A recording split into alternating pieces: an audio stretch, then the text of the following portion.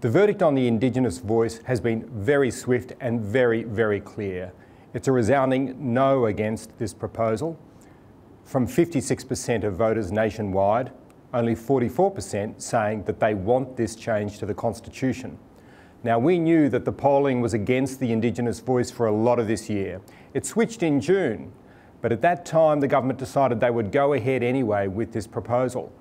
So the big rejection nationwide has also been matched by a no vote in every mainland state. What's happened here is that the government has kept going ahead with a proposal that seemed to be in trouble months and months ago.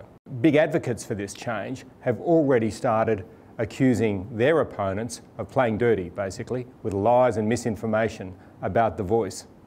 On the other side, the no campaigners are saying, look, the problem here was that voters didn't know what this change was going to be, they didn't get any detail, and they were sceptical about it and rejected it. And that's the clear message from those who now claim victory in this national referendum.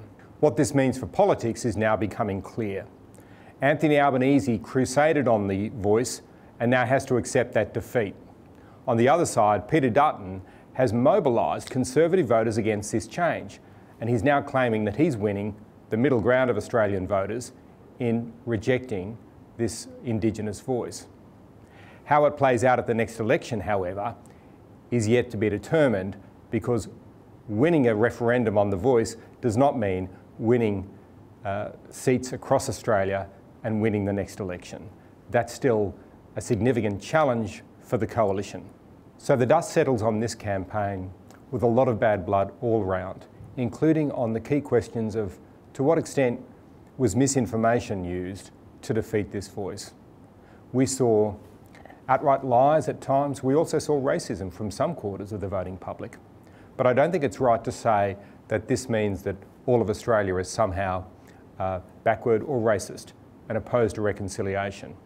A lot of this was about the specific proposal being put to Australians to enshrine a voice in the Constitution, but figure out the detail later when Parliament passed the law. That's something clearly a majority of Australians were not willing to accept. We have seen, however, a very different style of campaigning here. We've seen a very, very effective no campaign, spreading a lot of fear and doubt on social media. This isn't the last time we'll see it. We're going to see it again at the federal election, and so there's going to be a big debate after this referendum about campaign tactics, about truth in advertising, about lies on social media, and what can be done to make sure that we get a fair, truthful debate on federal politics, something that may seem too hard to wish for, but will be part of the debate in the months ahead.